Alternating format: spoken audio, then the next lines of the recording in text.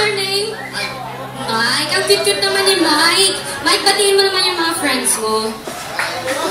Ayan, sa lahat po ng mga lalabs ko na nandito, hello po sa inyo. At para po sa mga hindi ko pa po lalabs, at nyo po ako, facebook.com slash marymaydelasarna. Thank you so much!